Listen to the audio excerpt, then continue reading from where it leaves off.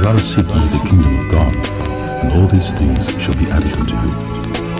Fear not, little flock, for it is your Father's good pleasure to give you the kingdom. All right, okay, I understand. The word kingdom means what?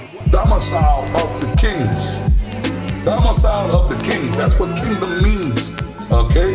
So that means domicile, that's the place. A place where kings dwell. Only men could be kings.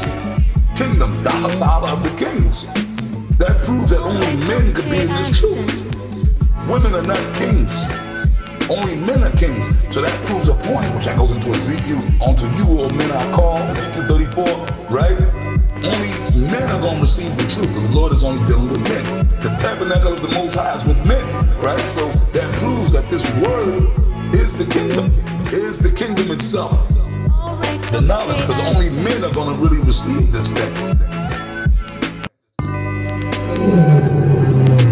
He withdraweth not his eyes from righteous, but with kings are they on the throne, yea. He doth establish them forever, and they are exalted.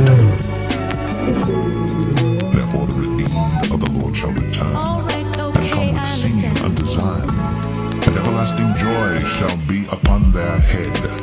They shall obtain gladness and joy, and sorrow and mourning shall flee away.